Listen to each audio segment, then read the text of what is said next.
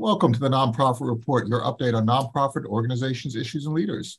I'm your host, Mark Oppenheim, and today our discussion is with the Association Your Place, a network of psychologists, teachers, therapists, and other related professionals. And, the, and we're going to be talking about the essential work they are doing to help Ukrainian children who have been displaced and have found refuge in, in Poland. It's a very interesting topic. I'd like to introduce Magdalena Wojciechowska, president of the association Your, Your Place. Magda, thank you so much for helping us to understand the great work that you're doing in Poland for Ukrainian refugees. Dziękuję również bardzo. Thank you very much. Likewise, thank you very much for inviting me to this program. So, tell us a little bit about the work that you do and the people that you serve, as well as your team. How, how do you assemble that team? Give us an understanding of, uh, uh, of the great things that you are doing to help these Ukrainian children. Nasze stowarzyszenie powstało w. Uh, our association is not a very old one because we were only established in March 2021. Uh, but for uh, about a half a year before that date, uh, we started thinking together how we could put our skills to a better use, how we could uh, uh, put them together because we had um, quite a range of skills uh, and specializations. in many cases, there are persons with a dozen years of experience and more, um, and uh, we wanted to provide, to, to launch an organization that could provide comprehensive help. Plus, if there were uh, areas or persons that we couldn't help uh, because we were missing a, a, certain specialization, we would be able then uh, to refer them further. So mm-hmm. you have a team of people who have psychological training and educational training. And, and you started off, I guess, as volunteers. Is that correct? Tak, każdy z nas. well, up to up, up until now, most of us are continuing to work for their uh, normal place of employment, whether it be a school or a school for special needs children. Uh, but together we form quite a community because uh, typically uh, there are many children that are often referred from one person to another. If there's a person that needs some additional um, uh, service from a qualified teacher, educator, then the psychologist will send them on and, and uh, the other way around. A, a, a, teacher can refer a child for psychological help. So uh, up until now, uh, we've been working pro bono uh, for the association, uh, but the idea is that we would like to shift our efforts uh, full time mm, uh, to to to work for the for the association. Well, our compliments because this idea of just responding to need, it's something that we need in this world. And, and you are embodying that value through your work. And of course, to sustain it, you need to figure out a way to to pay for for time uh, so that everybody can put bread on their own plate as well through these activities. But the response is just is just amazing. So our compliments.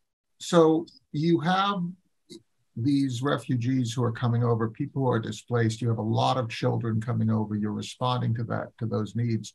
But in the world today, we also see a response to refugees, which is very um, negative uh, in different countries. We have seen um, in, in, in Hungary and even before this war in Poland, this, this fear of refugees. How do you uh, process this? Because Poland has basically absorbed 10% of its population. Um, and, and it's a huge, huge um, burden how is Poland not responding negatively and seem to be responding in such a productive and positive sense, even though there is such a flood and such stress on the country? Mm, ja myślę, że to jest dla... I think this is this is a bit of a, our national character that we uh, tend to have this emotional reaction uh, to to people in need. Uh, so so it, it usually takes up very quick. Uh, what was happening, and uh, so it's like a like a reflex of a of a kind heart. Uh, the the response which is happening, which it is still happening, although a little less now, is simply just the, the reaction to people in need. Also, it was such a sudden situation that nobody expected. Hence, this sudden um, reaction to it. Could you talk a little bit about the services that you provide and the dimension of the services? How many children are educated in Poland, were educated in Poland before um, this, this rush of refu refugees, and what is the challenge right now? Te liczby są bardzo duże. The, the hard data that we have at the moment is that there were 7,000 Ukrainian children who took the eighth grader exam, which is like the final exam at the end of the elementary school. Uh, basically, there are uh, hundreds of thousands of children which are in one way or another uh, included in the Polish educational systems, but we don't know the exact figures. There are statistics, but uh, we have to remember that there are uh, there's some part of the children that are included formally but are not using that system, the educational system. But also there are some children that are using the daily support uh, system, but are not part of the educational system. All we know is that th they constitute a, a very a big um, fraction of the of the children and young people who use the, the educational system. You know, it is it, it's amazing. 2.8 million children have been displaced. Some of them are displaced internally in Ukraine. Uh, some are are displaced um, externally, and you are absorbing so many people and you're also dealing with people who have a different experience than those that you've treated before. How are the differences becoming obvious uh, between a child who is displaced from their homeland or who has perhaps witnessed war and the children that you treated previously? Mm, To jest tak, praca z takim... Uh, that work is very difficult. One of the first things is the language barrier. Uh, even if we know uh, some Russians or maybe a little bit of Ukrainian, this is uh, difficult because when we deal, for instance, with psychological assistance, we're really talking in very abstract terms. For instance, psychologists talk uh, uh, about emotions and about feelings. Even in one's mother language, it's very difficult to talk about. the second thing is that there are significant differences in the um, uh, educational systems, for instance, in the syllabus. Uh, also, uh, uh, there is this, you can compare it to a situation. So a child that suddenly ends up in, a, in an entirely different educational system can be compared to an adult who's thrown into a new job where they don't know the language, they can't read the instruction manual, they don't know what's going to happen, they don't know how things work. This is very stressful. Uh, basically, if the Ukrainian child um, comes to a class which did not have any issues before, usually the adaptation is actually quite quite quick, relatively quick. Uh, when there is a, a, class or a group uh, that has had some difficulties in the past, let's say there, there are children, one or more children with learning disabilities, then this adaptation is more difficult and, and there is higher likelihood of emotional issues. So it's especially um, important to work with those uh, children who are are new and, and displaced. Um, it would be best if we could uh, have assistance from Ukrainian psychologists and teachers because they know um, the types of issues, they know the types of social issues, and they know the types of difficulties mm, that are typical for their educational uh, system. They know the Ukrainian syllabus, for instance. And and even the subtleties of, of the schedule that a, that a child experiences in school, the, the rhythms, the patterns, the rituals, also they will be different and the child has to become accustomed in that way. Mm-hmm. Uh, no na pewno i tutaj uh, that is true. Um, it is also important to remember that the, the child uh, who who is displaced and is in Poland is not alone. They came here with their parents or caregivers, and uh, uh, we have to look at the whole situation. Oftentimes, it's the caregiver that uh, suffered the trauma. And in that case, they're not really in position to provide adequate support to the child. So it would be uh, best uh, to have an organization that provides comprehensive assistance to include um, the uh, parent or caregiver and also realize that there is an issue and then help the child. That's such a great observation. You have to have a holistic uh, approach, but I'd like to ask you also about the the your people who are volunteering um, how this is affecting them because the person who is treating somebody who is traumatized are also themselves traumatized and they also need support of the community. How do you ensure that the energy stays up and stays positive, that people don't get exhausted as they are trying their best to help those who are traumatized, that they are not traumatized themselves? To znaczy tak, u nas zawsze. Uh, at, at, the association, uh, our we have a psychologist that provides assistance to to the uh, volunteers on open door. This is an open door policy, so so they can come to visit anytime to to to seek help, but also to talk, just to talk. Uh, on top of that, we support one another. We have uh, weekly meetings on Wednesdays uh, when we basically um, talk about current issues, but uh, this is always open to discussing problems uh, and difficulties. Uh, so these meetings also serve as a way to provide support to one another. Um, we form a, a, community and, and we care about one another, but we don't necessarily know one another that well not everybody knows everybody. So there is uh, the need for a network, and uh, if uh, if something comes up, uh, one person could encourage another to to either attend a workshop or uh, meet a psychologist or myself, because even though I'm not a psychologist myself, I um, play a role of the person who tries to uplift everybody.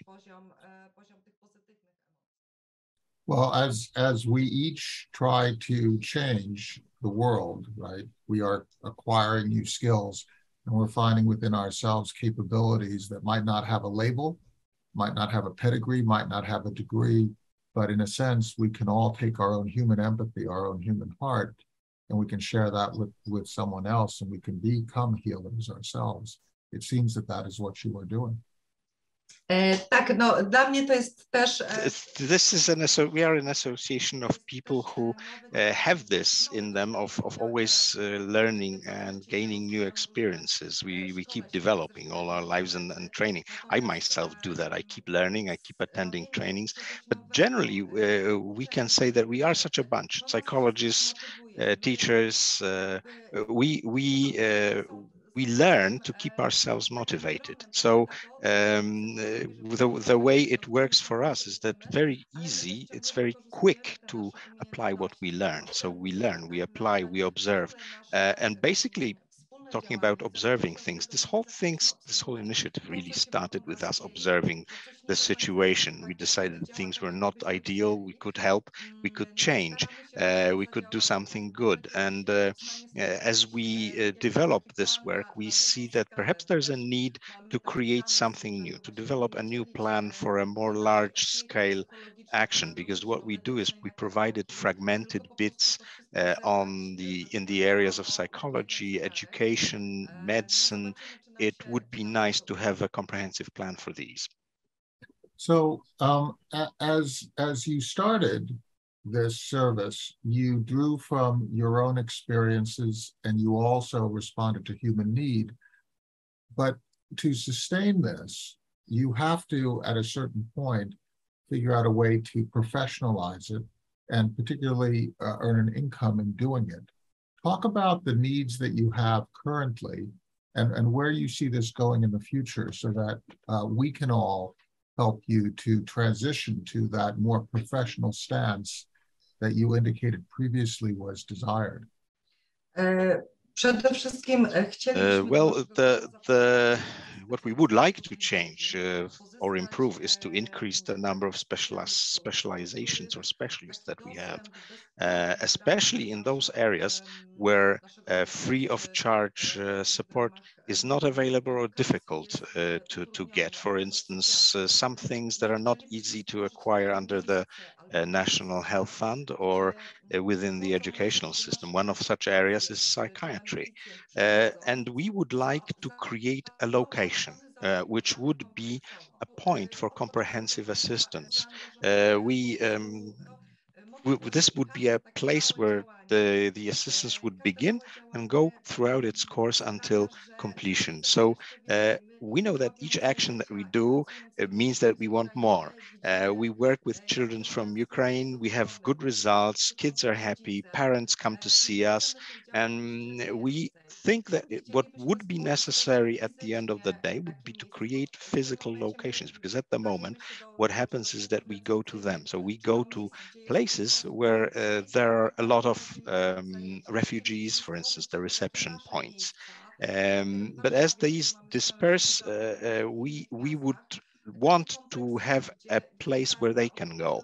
Uh, so, uh, especially when somebody needs a diagnosis. Mm, so, uh, what we're we have quite a lot of people that come and want to work for us, uh, and but a lot of them would like to work for us as a job. So that's where there would be a financial needs because we, we will have volunteers and there will be some work that will be done uh, by volunteers, but but uh, eh, the more we work, the more needs we see that need to be fulfilled. So uh, if we had some financial support, we would probably want to develop just that, the locations, uh, which would provide comprehensive assistance, starting with Warsaw, because this is where we are based, and then other large cities. So part of what you're arguing for is that in addition to thinking about this, in terms of material, whether it's material that helps the Ukrainians uh, retain their country, meaning um, in this particular case, weapons of various sorts, or logistics, cars, trucks, and so on and so forth. What you're talking about is support of people, which is not usually associated with a, a struggle, but absolutely should be. So there is an investment that's required. There's money that is required to meet the human need. And that's something that we really all can do. We can all talk about. So as you're as you're thinking about this, let's talk about the transformations that you'd like to uh, to uh, take next. I'll I'll ask the next part of the question in, in a second, Jan. So you mentioned mm-hmm. a couple of needs. The first need that you mentioned was some sort of an intake center some sort of a physical uh, facility that where where your people can gather and where you can receive those needing treatment is that going to be the most effective way given the fact as you also said people are dispersed so they won't necessarily be concentrated um, is it is it a combination of things so that you know in a center like warsaw there might be a physical location but then in other places where people are more dispersed you have a, a, another model for, for treatment that does not require a physical center. Um, so the first part of my answer is this. Yes, I, I, I do agree. Yes, that's true. Uh, well, the basic uh, assistance needs to pro be provided wherever those persons are. But here we're talking about roof over their heads and, uh, and uh, the daily things, the clothes, also help uh, sent to Ukraine, uh, including logistics. But the important thing is that psychological trauma is something that um, it does not have to be manifested immediately. Sometimes it manifests itself after some time. And uh, uh, in addition to that, um, so we can have a person who's doing fine somewhere and suddenly their condition deteriorates. Also, we have to remember that uh, even if uh, the even if the situation in Ukraine is resolved and uh, a lot of people go back, uh, some of them will stay, perhaps some of them will stay forever. So we have to keep in mind that we need a permanent um, way of looking after them. Uh, but there's more. Uh, the second, as to the second part of what you said, uh, at the moment, uh, it is a good idea to focus on big cities because they are there are the largest groupings of refugees there. Uh, but the the the, one of the tasks of those centers would be to develop a method because we uh, we are new to all this. We never had so many refugees. We are learning how to cope with it. We don't have a methodology. We don't have a system. We could develop certain paradigms, uh, templates, the ways to to deal with various types of issues.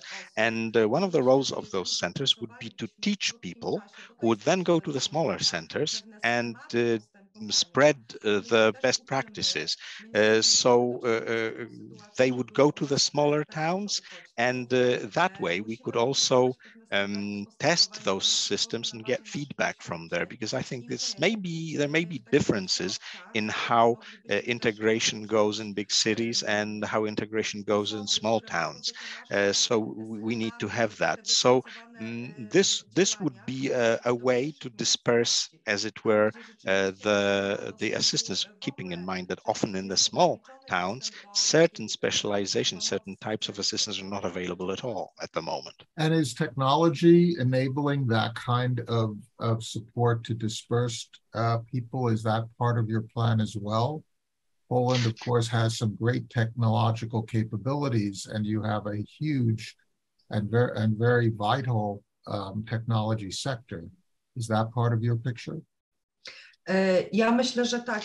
yes, that that is that is true. Once we uh, have a plan, uh, technology would, would, provide support for its dissemination, for its uh, uh communication. There are existing systems that support such uh, activities. There are uh, various types of platforms for all kinds of purposes that are being created right now. For instance, platforms that match people who are looking for the jobs with people who are looking for uh, persons to employ. There are such platforms for people who are looking for transport and people who are offering transport. And this is uh, this is good. And uh, this sort of uh, uh, global synchronization of efforts that technology allows will not solve our problems, but will definitely support uh, finding a solution. so um, we could, we also would technology could also be used to communicate with other centers because we are probably not communicating as well as we could or we should. And uh, uh, there are other areas where people are facing similar problems to us and probably finding their own solutions. This is where technology could also help.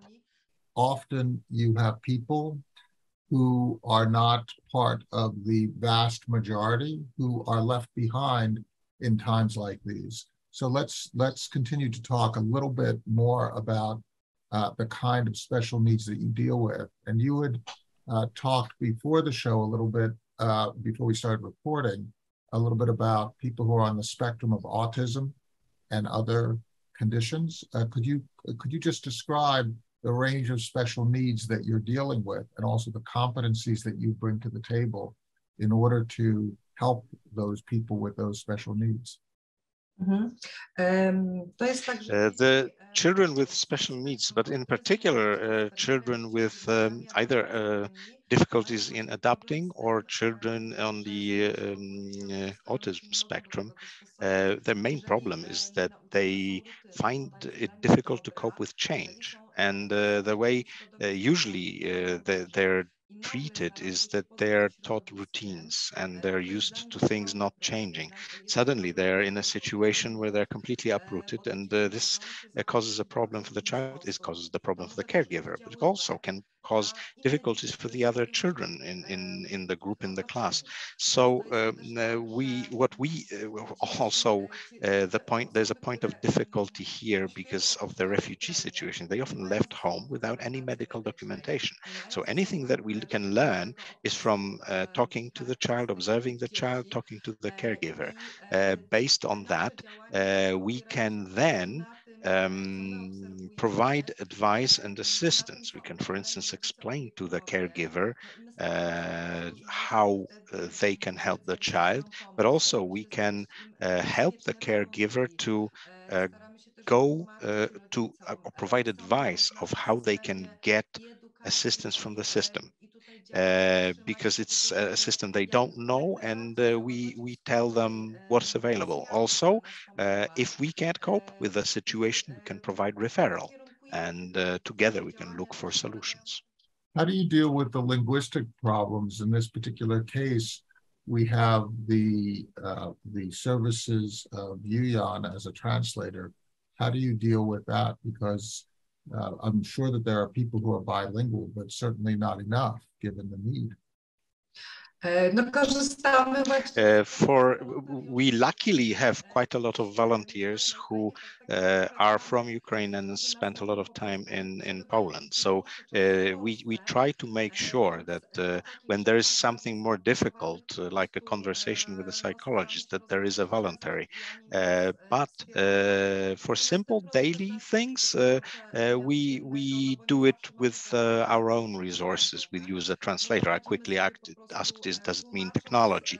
Yes, we use Google Translate uh, uh, in many cases where we can't uh, have um, a volunteer. What would be best is to have like a permanent full-time translator that we could uh, always use. Um, but for other other things, when we can't get a, an volunteer, volunteer uh, who is uh, bilingual or, or, close to bilingual, uh, then we use technology, if it's something simple, if it's a simple poster, also we had we needed to translate the um, personal data uh, law uh, into Ukrainian. And the way we did that is, is we ran it through Google Translate and then we asked a, a person to correct it. And it turned out that the machine translation was actually better than it used to be. Uh, so it required some corrections, but these things improve.